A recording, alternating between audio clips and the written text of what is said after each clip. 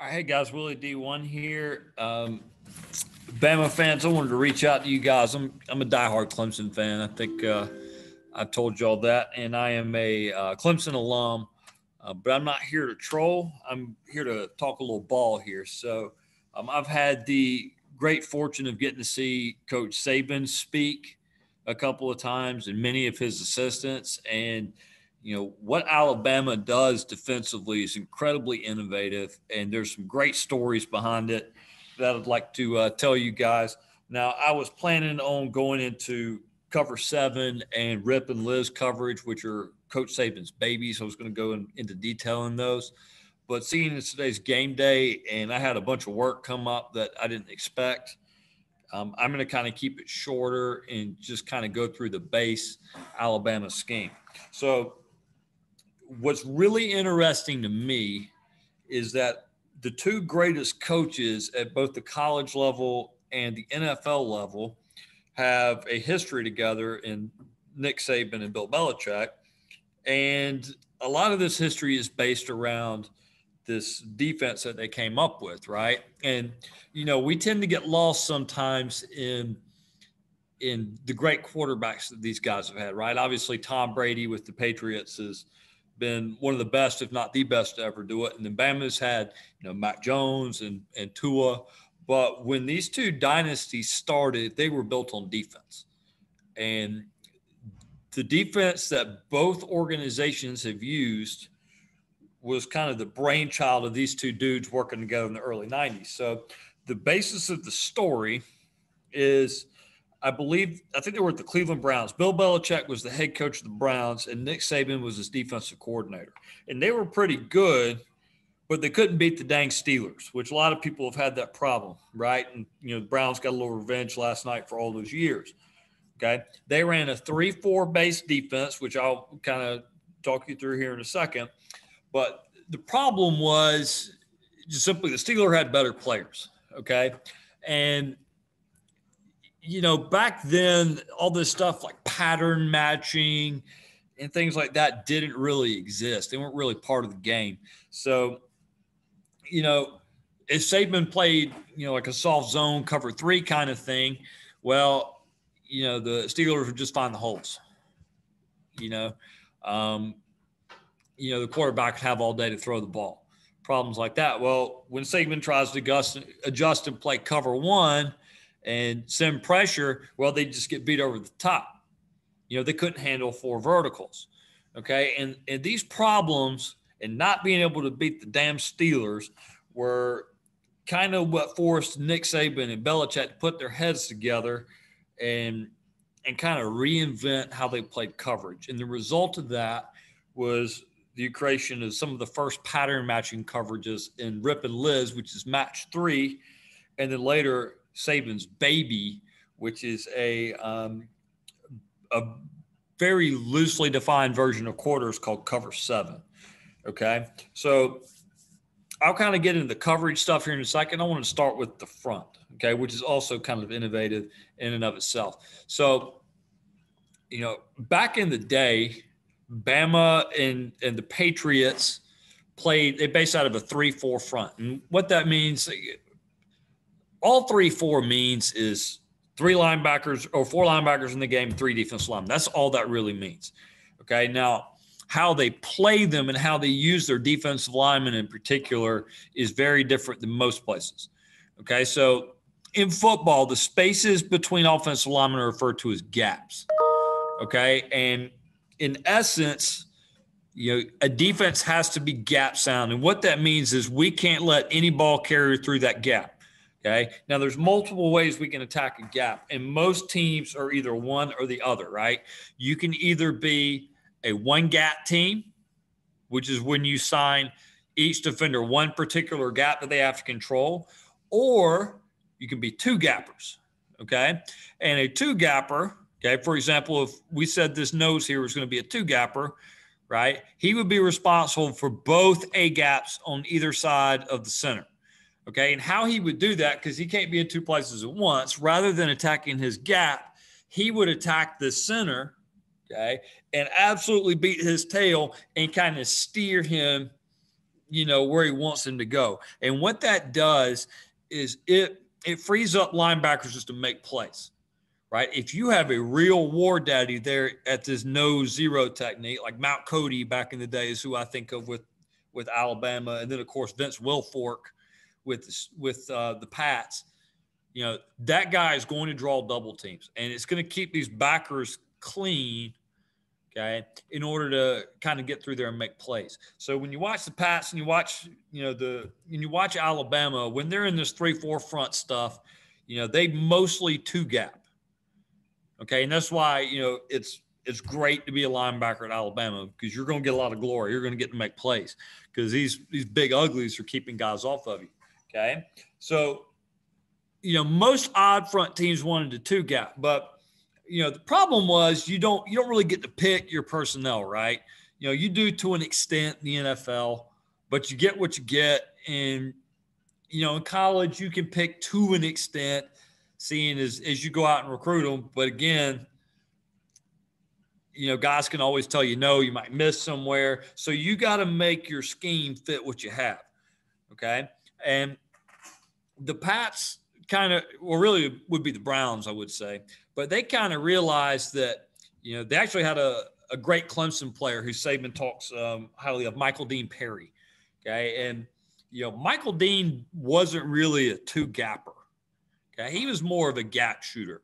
So what Saban did, which was absolutely brilliant, okay, and Belichick too, okay, they said, okay, we're going to be both a two gapper and a one gapper at the same time. Okay. So he would assign his five technique and his nose, okay, as two gappers. So they're just going to beat the crap out of the tackle, beat the crap out of the center, draw a double team, and try to try to move between these gaps, keep these backers clean. However, they put Michael Dean Perry here at a four eye, and he's a one gapper. Shoot your gap and go, Bubba.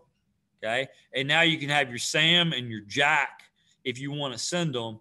There's one gappers as well. So there's a lot of versatility in in that idea out of this three four front. Saban now, as, as defenses are getting more modern, let me delete my lines.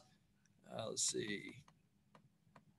They can they're getting into more tight fronts and mint fronts and things like that. And Saban actually nowadays in um, is I guess starting five or six years ago actually gets in a lot of even fronts too, where we can essentially make this cat a or here, yeah, make that cat a three, slide your jack in, one technique and bump him out to a five, right? So, you know, Saban has a lot of versatility in in the fronts that he can line up in. Okay, but just for the sake of being simple here, we're going to stick with our um, with our odd front stuff because that's what I really think is is very unique.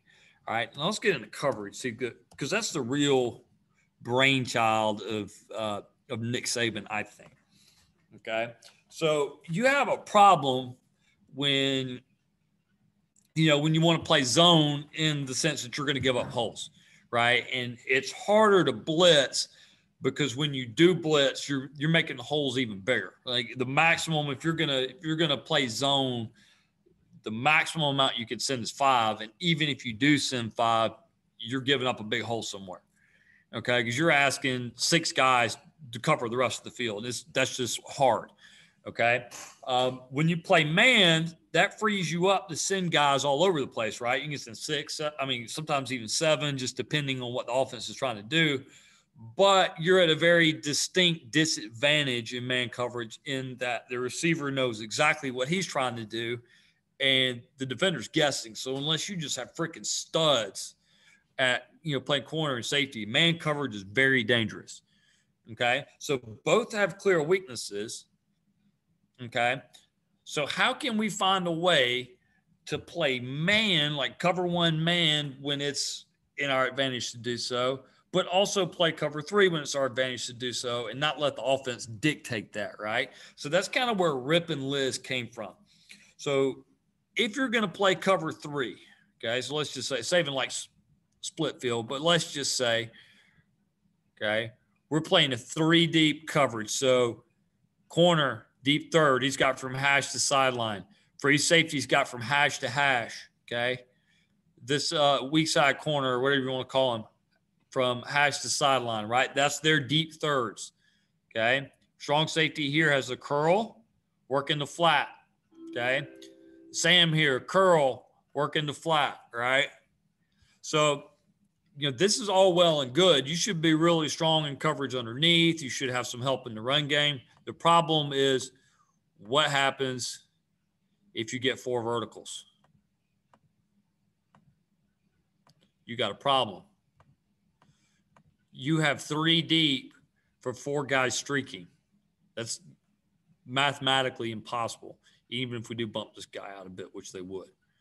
Okay. So simple, very simple. What Rip and Liz is, is they are teaching their guys to uh, to read patterns. Okay. So it's almost like we've married cover three and man. So how it's going to work Okay, is he's got his deep third, but he's almost in a way playing man on the outside receiver and vice versa here. Okay, if we have anything that breaks off underneath, right, we're going to get cover three. Okay, whereas this guy's going to play his, you know, his curl zone and then break to the flat. Okay, if he goes in, he's going to pass them to a backer and then he's going to work the flat, right, watching for the back. Okay. backers read backs and they're calling out and communicating what they see. All right. But if we get four verticals, kind of like I got drawn up here, all of a sudden he's going to man this up. Okay. And that'll tell your backer that if the back flares to his side, okay, he's got to man him now because there's nobody here playing uh, playing curl flat anymore. Okay. So essentially, they're just adapting their coverage based on the, the concepts that the offense is running. And part of this is you got to, you really just got to rep it and teach these guys what they're seeing. Because, you know, if you do the film study part and you know, okay, they're like four verticals, they like curls and, and outs and things like whatever. Okay. Um, if they see these patterns, they learn to recognize them and, and get in the correct coverage um, very quickly. So essentially, what they're doing is Saban is giving his guys the ability to um, to adjust to what they're seeing on the fly, coverage wise. Now, the real genius of Saban, okay, and you got to know understand Saban's defensive philosophy. Let me get rid of these lines here. I absolutely hate uh, Hudl. It's a terrible tool, but it's what they pay for.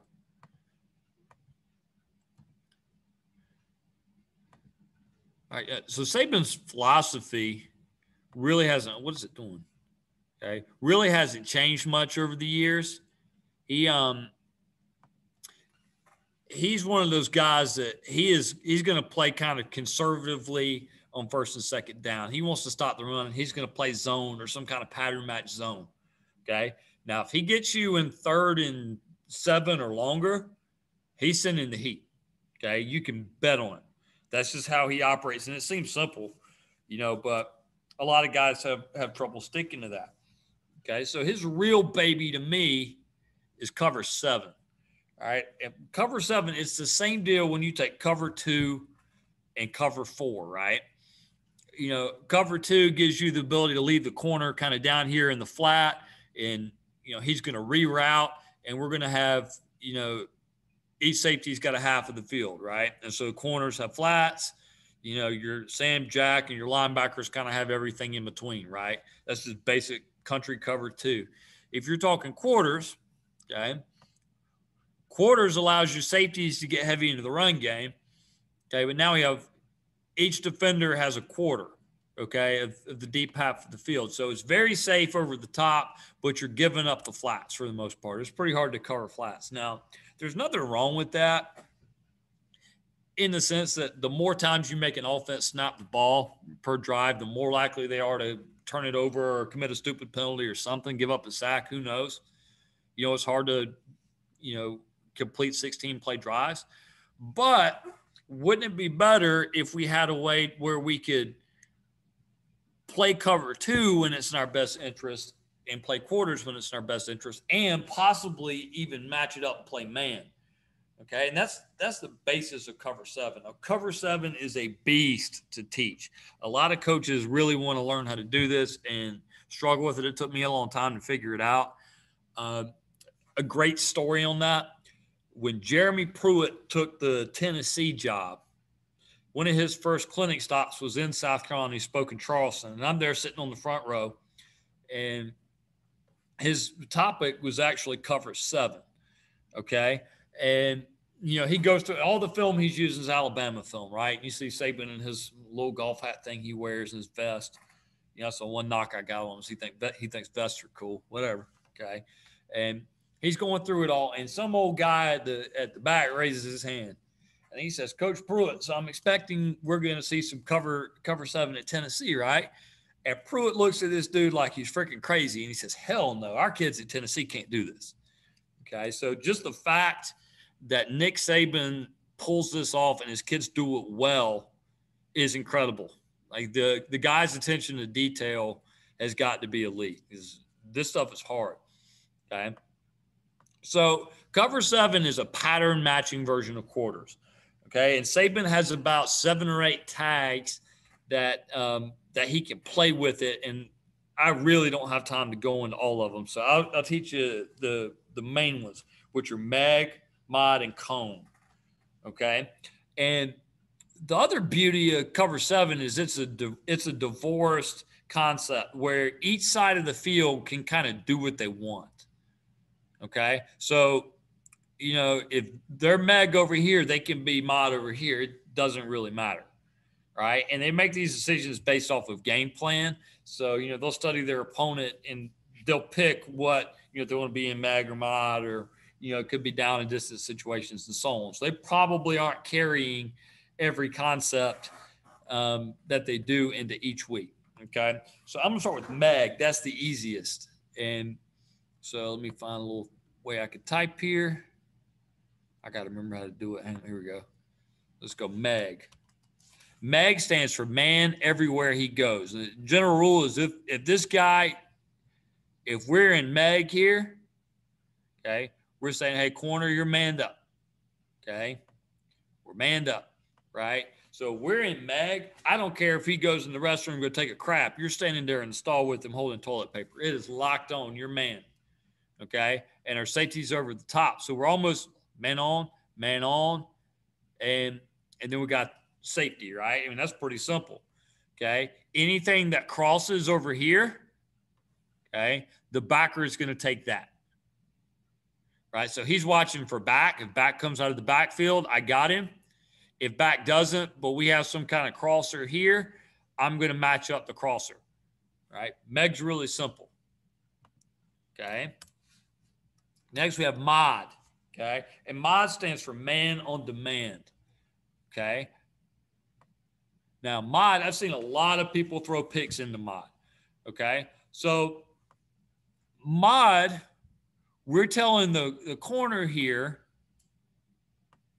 okay, we're telling the corner that we're only going to man this guy up if he goes vertical more than five yards. Okay. So if I get a vertical, I'm going to man him. Okay. Period. Okay. If he runs like a hitch or an end, though, I'm going to get to my deep quarter and I'm, I'm going to be like a traditional quarters coverage, and we're going to let the linebacker take underneath stuff. Going to let the Sam handle that. Okay. So, one example, okay, when people play quarters, a very common offensive concept that you know, offenses like to try is the smash concept. Clemson actually hit this a lot in the national championship game a couple years ago in 2018. But this is mod is made to handle this stuff. Okay. So if I'm a corner and, and I'm playing mod, I can slow play this hitch. Okay. Kind of sit on it, but I see, hey, he's not going more than five yards. I'm not man. I'm going to get to my deep quarter. So now we've got bracket coverage on this hitch. Okay. And we're going to let this, this Sam linebacker kind of get out here and be responsible for this. Okay. So we have our strong corner in this case would be deep quarter. Our free safety is a deep quarter. Okay. Our Sam backer is going to match up the hitch. And if anything crosses or our back flies out here, backs, backer's got him. Okay. And we're just simply matching up the pattern. If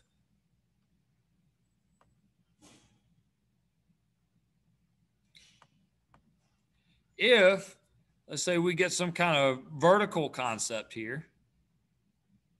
I don't know, say post wheel.